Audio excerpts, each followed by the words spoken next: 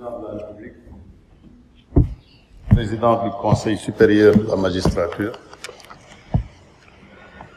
Monsieur le Président de l'Assemblée nationale,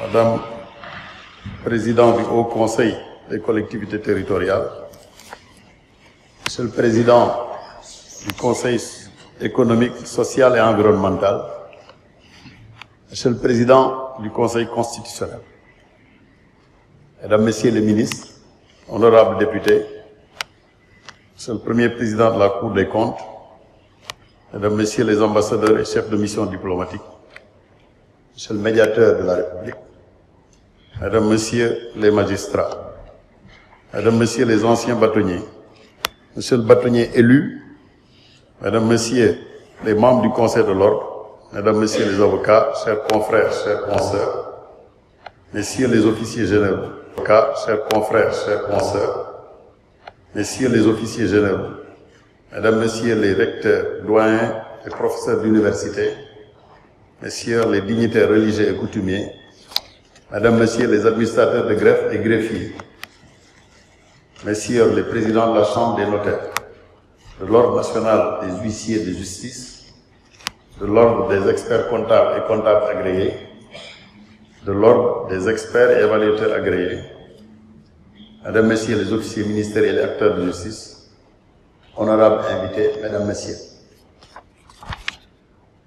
Rendons grâce à Dieu le Tout-Puissant de nous accorder une nouvelle fois la possibilité de tenir cette audience qui, à l'aune du dialogue des institutions et sous toutes les réserves d'usage, est au pouvoir judiciaire ce que la déclaration. Il s'agit ici ni d'une formule rituelle, ni d'une figure de style, tant les années 2020 et 2021 furent des années difficiles, de loin plus difficiles que l'année 1992, que la reine Elisabeth II qualifia pourtant d'annus horribilis.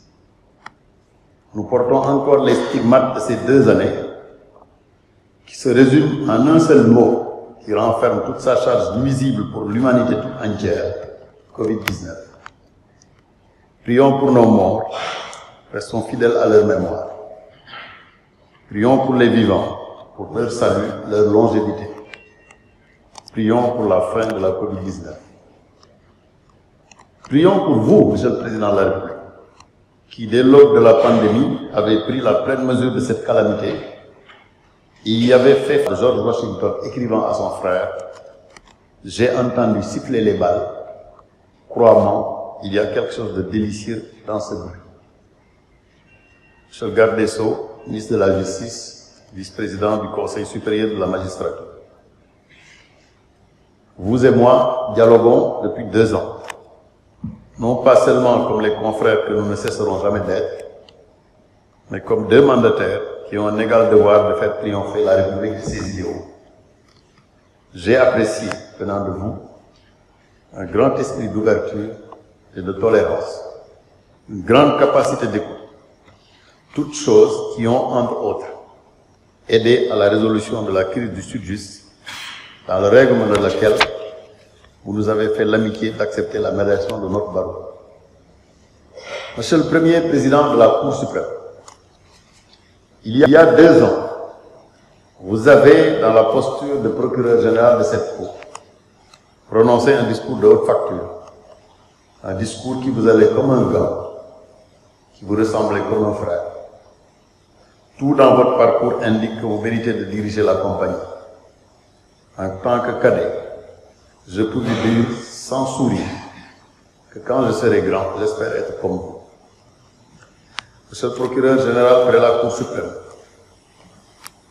quand on a, soit dans une enfance, soit dans une adolescence, disons même à un moment quelconque d'une vie, côtoyer une personne avec bonheur, l'on éprouve dans son fort intérieur, quelquefois dans son fort extérieur, une légitime fierté de le voir récompensé de ses efforts.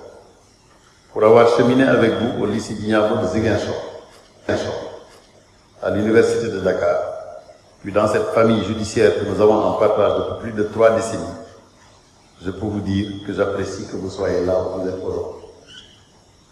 Ce que je puis vous dire à cet instant, c'est que vos suggestions ne sont pas tombées dans l'oreille d'un sourd. Vous nous avez même, pour ainsi dire, marché sur la langue.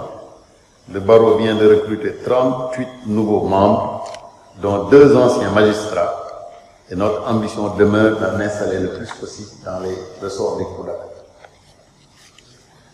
Excellence, Monsieur le Président de la République, excusez cette comparaison douteuse. Si la COVID-19 comporte une charge virale, une cérémonie comme celle qui nous réunit comporte une dose émotionnelle. C'est dans cette rubrique que je classerai l'hommage dû à tous les acteurs de la justice qui ont disparu depuis la dernière, disparu depuis la dernière entrée solennelle. Magistrats, greffiers, huissiers, personnels de justice, et en particulier les avocats. Maître Mamadou Wad, Omar Diallo, Khassim Touré, Aline Badrafal, le bâtonnier, Eli Ousmane Sarr, bâtonnier, Abdoulaye Diallo, Ilam Nian, Gorgui Je prie le Seigneur de les accueillir au paradis et renouvelle à leur famille les condoléances du barreau.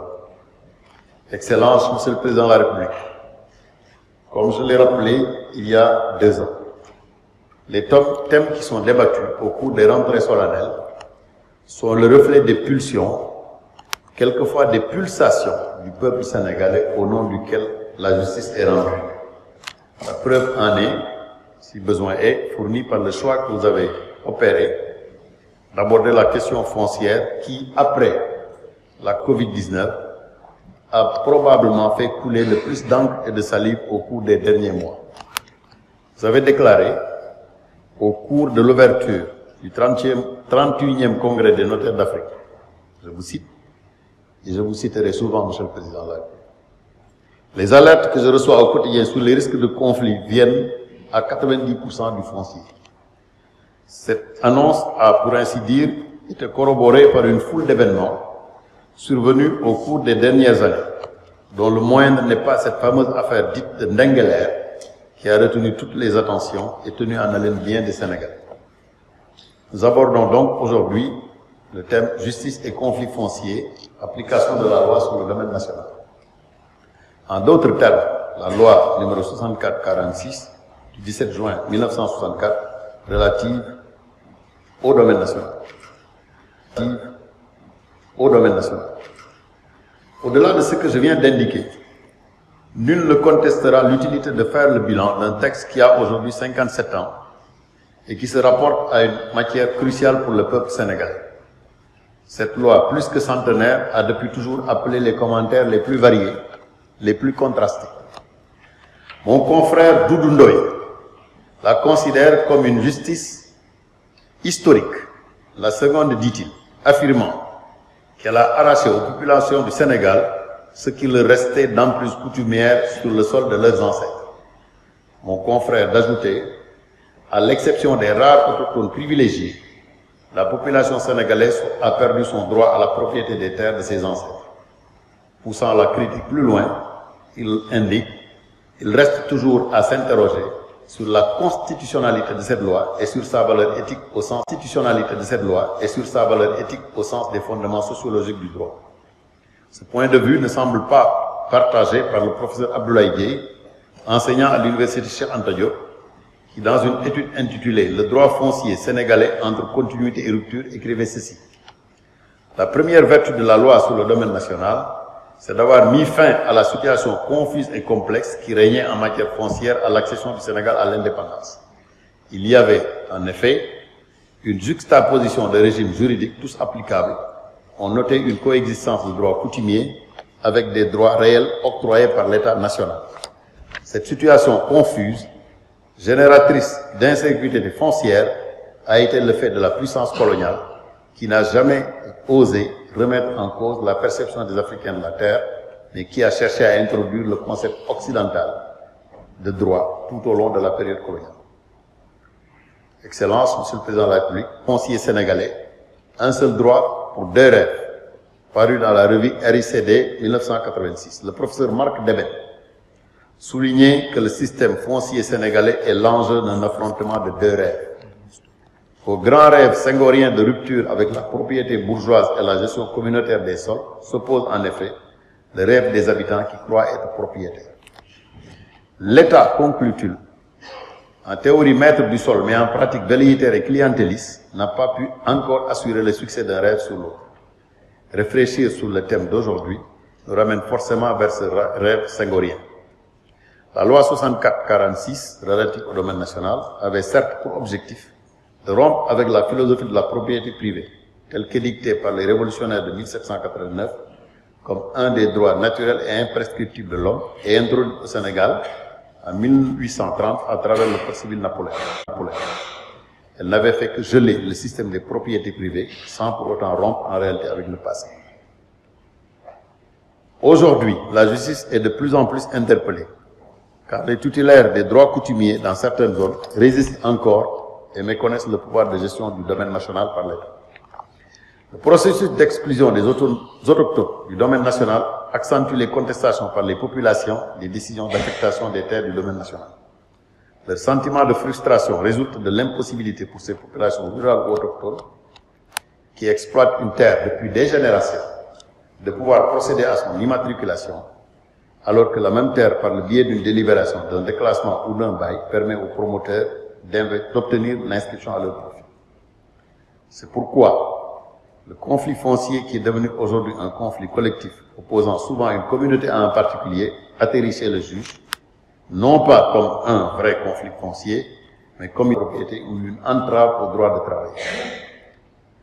Comme l'a relevé Madame le juge Elisabeth Ndeo Nyang dans son discours d'usage, le juge doit toujours s'assurer que l'occupant bénéficie d'une affectation et veiller aussi au respect des procédures d'affectation et de désaffectation.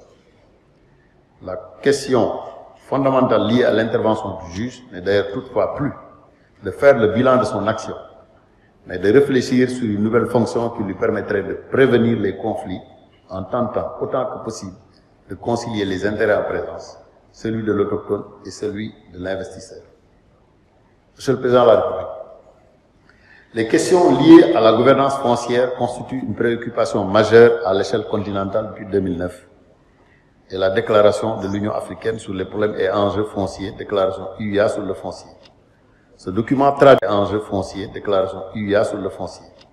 Ce document traduit la volonté des chefs d'État et de gouvernement africains de mener des processus de réforme foncière indispensables dans un contexte de libéralisme économique envahissant et de malgouvernance multiforme, exacerbé par la corruption foncière, les acquisitions de terres à grande échelle et les risques réels potentiels de confrontation entre les différents acteurs de la gestion foncière.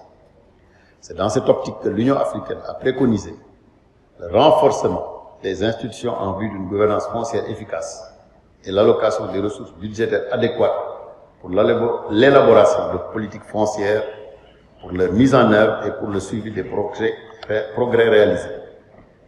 L'examen minutieux des cadres juridiques définissant les régimes fonciers et l'analyse critique de leur application concrète dans les pays concernés révèlent, au-delà des diversités culturelles et sociales, une similitude à la fois ainsi que des difficultés mises en œuvre dans toute leur complexité.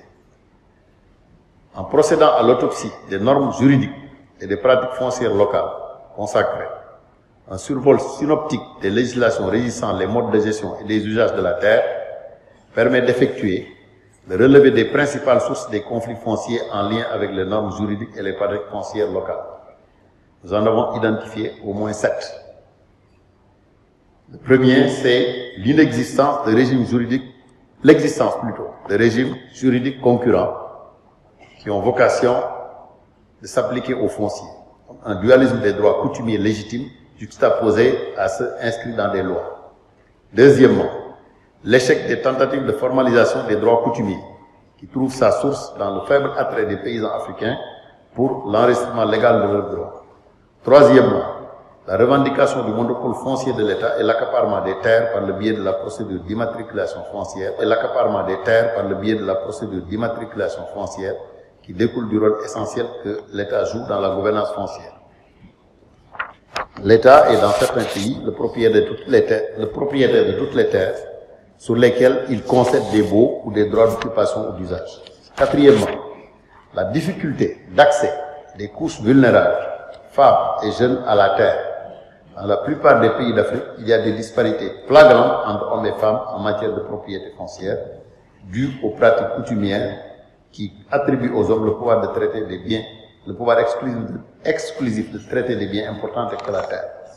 Les femmes peuvent avoir le droit d'user et de jouir des terres, tout en étant privées de celui d'en posséder ou d'en hériter. Cinquièmement, les conflits entre acteurs fonciers qui ont été évoqués à la fois par le juge Léounian et le procureur général, mais également entre l'État et les autres acteurs. En effet, partout en Afrique existent des conflits récurrents relatifs à la terre et aux ressources naturelles qui opposent parfois des communautés. Sixièmement, la corruption foncière, décriée dans d'autres domaines, est également présente là où la terre représente un enjeu économique important. Une enquête menée dans 13 pays africains révèle que si les jeunes et les femmes ont des difficultés pour accéder à la terre, ils le doivent à la corruption dans les processus d'administration foncière et d'enregistrement foncier. Lorsque les transactions foncières sont entourées de secrets, lorsque les intérêts privés prennent le pas sur l'intérêt général, lorsque les fonctionnaires extorquent de l'argent pour des services fonciers qui devraient être gratuits, les droits humains sont violés sur le lit de la corruption. Il s'y ajoute un facteur aggravant qui constitue l'inefficacité des administrations foncières dans la gestion, du fait de la cité des administrations foncières dans la gestion, du fait de la faiblesse de la qualité du service délivré, complexité des procédures, insuffisance de ressources humaines et matérielles, allongement des délais de traitement des dossiers, absence de transparence dans l'attribution des droits fonciers.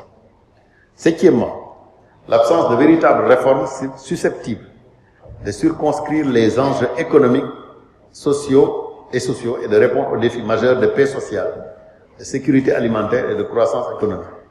Les investisseurs étrangers exigent en effet souvent des gouvernements africains qu'ils mettent en place des politiques et cadres juridiques favorables à leurs intérêts. Face à ces préoccupations communes à la plupart des États, une réforme radicale de notre perception du foncier constitue le passage obligé pour l'avènement de nouveaux comportements, de nouvelles attitudes et aptitudes qui placeront l'intérêt général au-dessus de l'intérêt particulier. Il s'agit de faire jouer à la terre, au foncier, son rôle le plus utile, économique dans laquelle presque tous les pays sont plongés. En somme, d'impulser une véritable politique foncière constitutionnalisée pour la défense et l'illustration du patrimoine national. Tout cela éclaire d'un jour nouveau l'universalité de la complexité du foncier que je définirai dans sa plus simple expression comme les rapports qui existent entre l'homme et la terre. Dans l'articulation de l'universel au spécifique, le sujet de la présente rentrée des cours du tribunaux est d'une grande opportunité. Traiter ce thème, c'est approfondir la réflexion dans le sillage qui vient d'être dit en mettant en évidence le foncier dans sa complexité. En cherchant à dénouer l'écheveau de l'intrusion de la justice dans les conflits que le foncier engendre, dans le cadre de l'application de la loi sur le domaine national, l'on peut affirmer que la question foncière, dans son universalité africaine, et dans la complexité de sa ne peut être cernée et comprise qu'à travers une lecture qui s'insère dans le contexte politique, économique, social et juridique. Il est heureux que, premier magistrat de ce pays, vous soyez le premier à comprendre les enjeux et les implications politiques, économiques, sociales et juridiques du foncier. Le 20 octobre 2020, dans le discours que vous avez prononcé à l'occasion de la journée nationale de la décentralisation, vous affirmiez la terre est le plus gros risque de conflit au Sénégal. Vous y faisiez état des nombreux litiges fonciers qui vous parviennent et vous conseillez aux élus locaux d'éviter de donner des terres aux premiers venus. Vous disiez, je cite, on ne peut pas laisser durer le bradage du patrimoine foncier des collectivités territoriales qui doivent défendre les intérêts de la communauté nationale et éviter la privatisation du patrimoine foncier national, car beaucoup de projets risquent d'être plombés par l'occupation des sols. Votre prise de position en ces circonstances nous plonge, Monsieur le Président de la République, de plein pied dans l'examen du thème qui nous sont proposés. Il est en effet de notoriété publique qu'au Sénégal, les cours et tribunaux sont envahis par d'innombrables saisines liées aux litiges et conflits fonciers qui sont des conséquences des difficultés, pour ne pas dire de l'impossibilité d'appliquer ou de faire appliquer les dispositions de la loi relative au domaine national. Madame le juge Elisabeth Ndaou Diouf Niang a, dans son brillant exposé, indiqué les dernières statistiques relatives à ces saisines et les solutions jurisprudentielles auxquelles elles ont donné lieu. Il me soit permis de relever ici que les disparités dans les décisions rendues achèvent d'asseoir les difficultés d'application de la loi. Pour com comprendre ces difficultés, il n'est pas superflu de s'arrêter sous le prétexte de la loi, le contexte de la loi Pour com comprendre ces difficultés, il n'est pas superflu de s'arrêter sous le prétexte de la loi, le contexte de la loi et le texte de la loi. Il va sans dire que les développements très intéressants qui ont été faits par le juge Ndaou Niang me dispensent d'aller plus loin dans la reproduction de cette loi qui comporte 17 articles. Il me suffira en effet de rappeler qu'elle consacre la coexistence de deux régimes fonciers au Sénégal pour l'administration du droit de propriété, le régime de l'immatriculation et celui du domaine national. S'il est permis de donner foi aux statistiques généralement invoquées, il apparaît que 95% des terres appartiennent au domaine national et que les 5% qui ont fait l'objet d'immatriculation sont partagés entre l'État et les privés. On constate ainsi l'extrême suprématie du domaine national sur le foncier sénégalais, accrue par l'exclusion de toute possibilité de transmission, d'aliénation et de cession des terres, créant de ce fait une propriété, une catégorie fictive qui ne dispose d'aucun droit réel sur la terre qu'ils occupent et exploitent au vu et au su de tous. J'ai dit plus haut, Monsieur le Président, que cette loi sur le domaine national est au centre de vos préoccupations, que vous semblez en tout cas particulièrement soucieux de la situation foncière dans le contexte actuel, au, point de penser, je vous cite à nouveau, la terre est le plus gros risque de conflit au Sénégal en raison des nombreux litiges fonciers qui me parviennent. Votre volonté de mettre en œuvre tout ce qui est possible pour que ces litiges, conflits fonciers de faible intensité ne se transforment pas en conflit majeur est palpable. Vous avez déjà pris des initiatives dans ce sens, comme si vous vous sentiez investi de la mission historique de résoudre la question foncière au Sénégal. C'est pour cette raison que je m'emploie à revisiter avec vous le contexte historique de la naissance de cette loi. Pour cela, nul n'est mieux placé que le président Léopold Sédar Senghor, qui a été cité à la fois par le juge Ndaounian et par le procureur général. Donc lui qui a promulgué la loi pour en parler. Le 4 novembre 1980, à l'occasion de la rentrée solennelle des cours et tribunaux, dont le thème, comme par hasard, était axé sur la propriété foncière au Sénégal, il s'est expliqué sur le contexte et les raisons qui avaient conduit à faire adopter cette loi. Je le cite, la réalité culturelle était et toujours que la conception négro-africaine est intimement liée à notre métaphysique. La terre n'est pas un bien patrimonial, mais un bien sacré. Mieux, une déesse qui ne saurait faire l'objet d'une appropriation. La terre est partant inaliénable. C'est en violant la loi religieuse, ou plus exactement le dogme, que les nobles se sont autrefois appropriés la terre. Et la terre, approprier la terre. Et la terre est aussi un bien économique, source de richesse et de puissance pour ceux qui en disposent. Elle est donc l'enjeu de la lutte pour le pouvoir et la richesse, et son statut traduit l'expression des forces de, des rapports de force socio-économiques. Aux pratiques inégalitaires, la puissance coloniale avait superposé ces réglementations artificiellement plaquées sur une réalité socio-culturelle différente. L'échec de ces tentatives montre clairement que le législateur qui a fait fi des réalités socio-culturelles se condamne à l'impuissance. C'est dans ce contexte qu'est intervenue la législation de 1964 sur le domaine national. Fin de citation. Malgré son caractère révolutionnaire, la générosité de ses intentions et sa volonté d'assurer la défense de l'international contre les intérêts particuliers, la loi sur le domaine national a toujours rencontré de très nombreuses difficultés dans sa mise en œuvre. Dans la mesure où, difficultés dans sa mise en œuvre, dans la mesure où elle apparaît d'une part comme inachevée, donc inopérante, d'autre part comme pas totalement acceptée par les populations qui se sont vues retirer leurs droits coutumiers au profit d'un simple droit d'usage révocable en cas de non-mise en valeur de leur terre.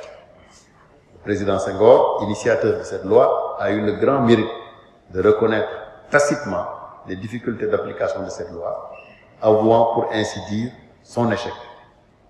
La qualité, je le cite, d'une réforme ne se mesure pas seulement aux intentions qui la sous-tendent, elle s'apprécie aussi dans l'application qui en est faite, dans la manière dont elle est appliquée. Il nous faut donc analyser méthodiquement, sans complaisance, les ressorts de l'expérience, corriger les erreurs s'il y en a, combler les lacunes s'il s'en trouve, supprimer les lenteurs, expliquer les résistances. Fin de citation.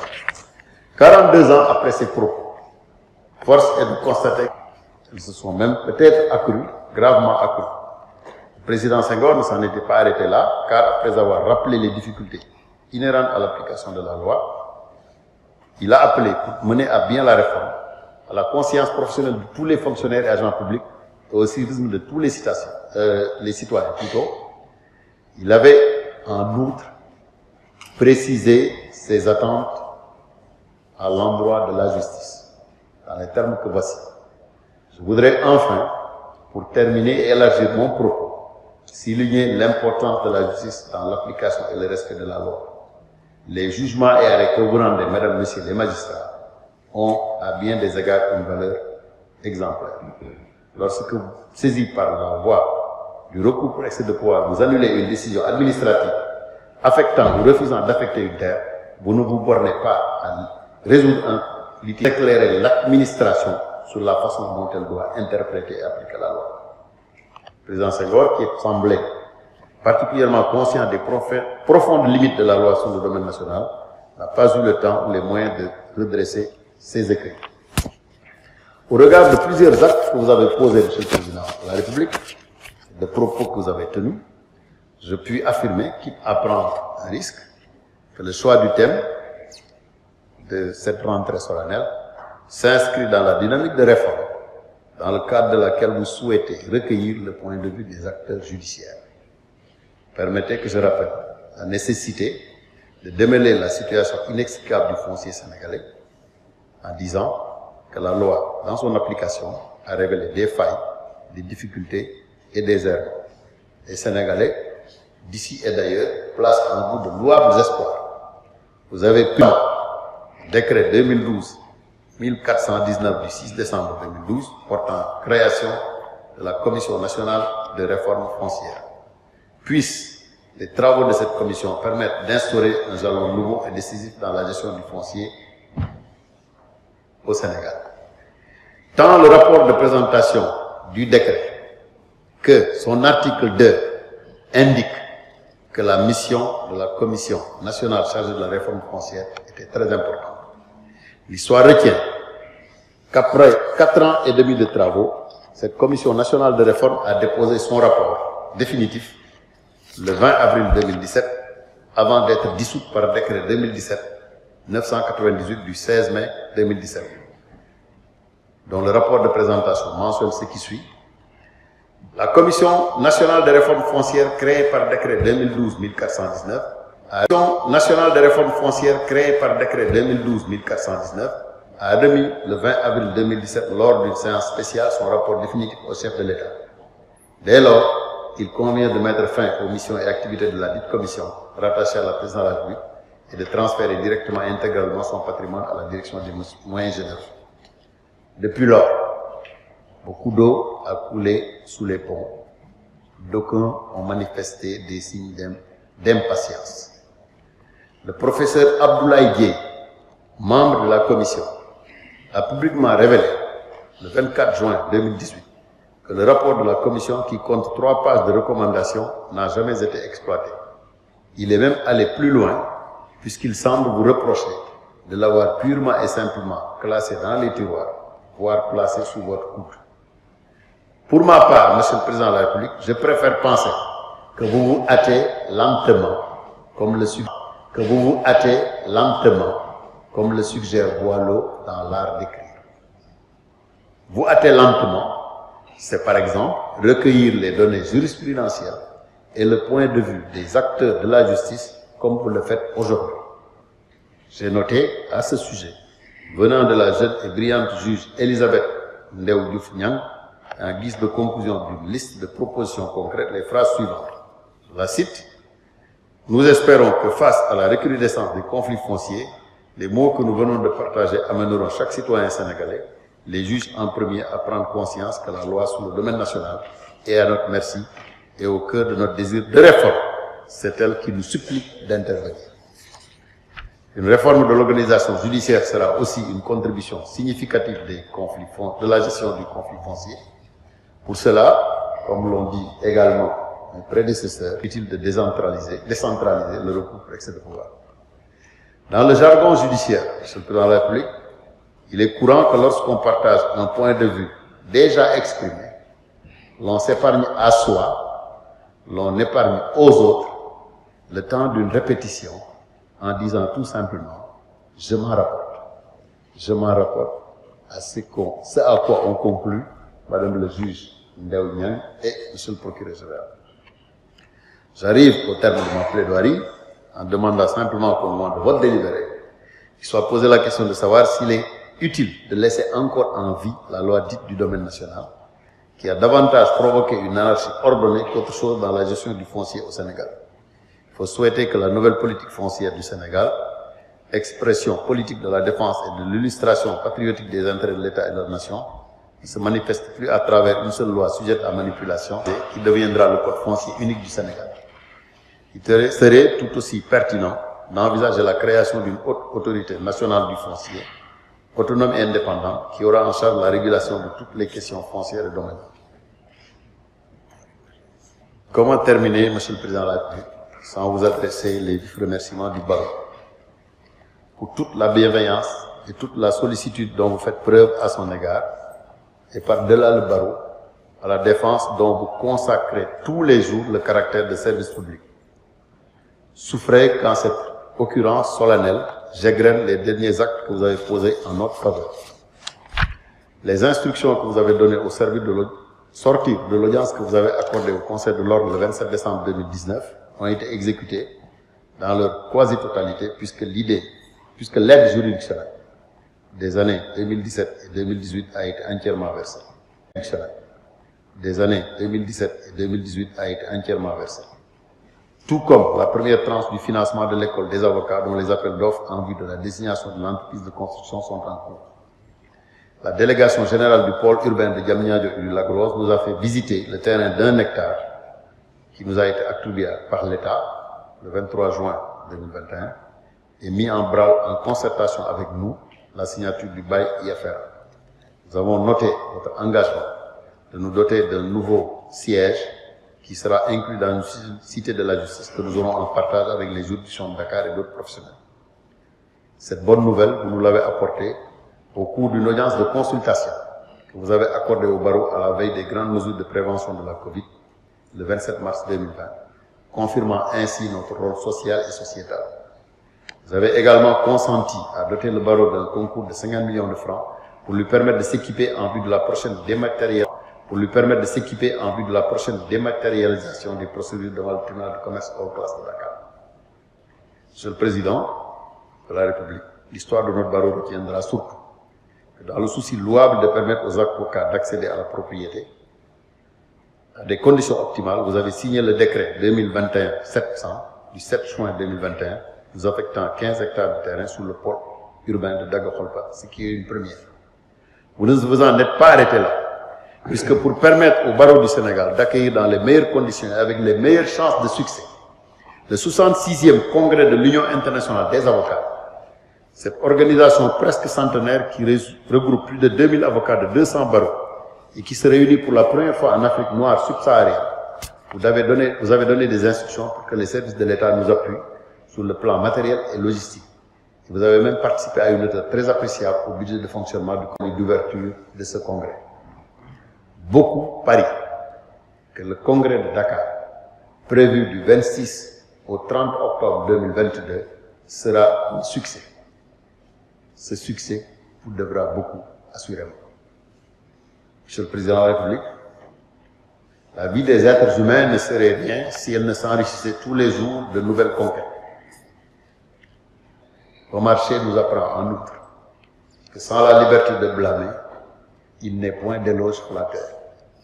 C'est sous cet éclairage et dans son rôle de vigie que le barreau par ma voix attire votre attention sur les difficultés que rencontrent nos juridictions ou certaines d'entre elles au plan matériel, logistique et humain. À cet égard, la situation du tribunal de commerce hors classe de Dakar est emblématique. Cette juridiction, de toute évidence, n'a pas les moyens de ses ambitions. Du moins, elle ne les a pas encore. Pas de siège fonctionnel, encore. Pas de siège fonctionnel, pas de salle d'audience, donc pas de salle des avocats, pas assez de juges, pas assez de greffiers. Le processus de dématérialisation qui est en cours risque en outre de se heurter à des écueils que nous prendrons soin de lister dans un mémorandum qui sera soumis à M. le garde. Le tribunal de grande instance de Pikine Guédiawaye a également retenu notre attention, car il est certes abrité par un bâtiment, un grand bâtiment de construction récente, mais les problèmes qui rencontrent les juges et les avocats sont nombreux et récurrents. Ils ont nom, exiguïté des salles, absence de salles des avocats, insuffisance des ressources humaines. Les tribunaux de grande instance d'Iguinchon et de Mbourg ne semblent guère mieux lotis. Une autre préoccupation du barreau, Monsieur le Président, réside dans l'insuffisante sollicitation de nos services, de notre présence, dans les conférences, dans les, dans les consultations, les concertations et les manifestations qui impliquent l'État. Nous ne sommes par exemple pas invités au Conseil présidentiel sur l'investissement. Pas assez ou rarement consultés sur les contrats et litiges. Nous constatons en outre avec regret que des textes, beaucoup de textes, y compris ceux concernant notre barreau, sont adoptés sans que nous soyons consultés, quelquefois même pas directement informés. Monsieur le Président de la République, nous avons la nostalgie de la circulaire numéro 1, bar PR, bar SGE, bar SP, du 25 janvier 2006, quand votre qualité de Premier ministre d'alors, vous avez édicté pour rappeler qu'en application des instructions données par le président Abdoulaye Wade en Conseil des ministres, aucun ministre ne devait signer un contrat sans la consultation écrite d'un avocat régulièrement inscrit au barreau. Nous pensons, Monsieur le Président de la République, que dans votre posture actuelle, vous ne pouvez pas faire moins. Je parie, Monsieur le Président de la République, que vous m'avez compris et que vous ferez le nécessaire. Je vous en remercie par avance. Je vous remercie surtout de votre aimable attention.